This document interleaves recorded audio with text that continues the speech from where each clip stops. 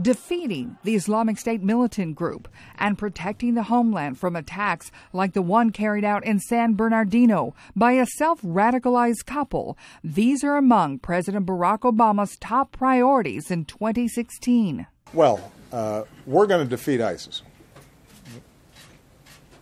And we're going to do so by systematically squeezing them, cutting off their supply lines, cutting off their financing, taking out their leadership, taking out their forces, taking out their infrastructure.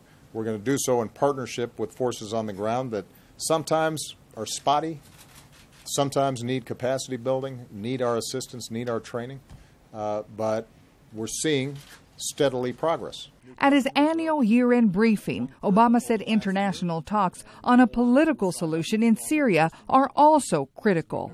It's going to be very difficult to completely overcome the devastation that's happened in Syria already, but to find a political transition that maintains the Syrian state, that recognizes there are a bunch of stakeholders inside of Syria, and uh, hopefully uh, to initiate a ceasefire that won't be perfect, but allows all the parties to turn on what should be our number one focus, and that is destroying Daesh uh, and uh, its allies uh, in the region. But analyst Anthony Cordesman does not expect any improvement in 2016. We're talking about a series of wars and violent movements throughout much of the Islamic world.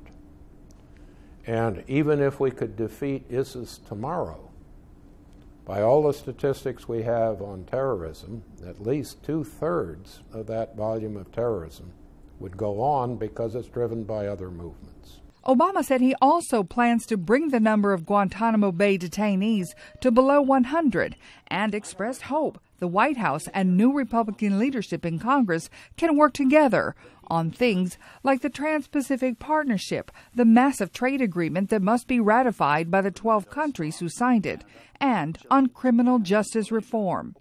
After a vacation in Hawaii, President Obama is due to return to Washington in early January to push his agenda for his final year in office.